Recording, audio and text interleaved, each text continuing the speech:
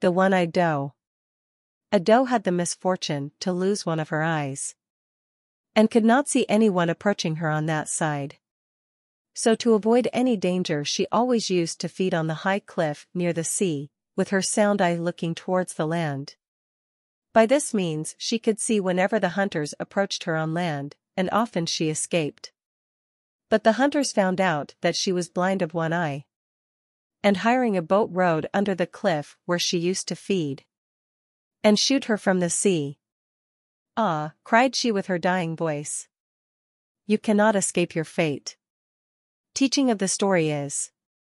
You cannot escape your fate.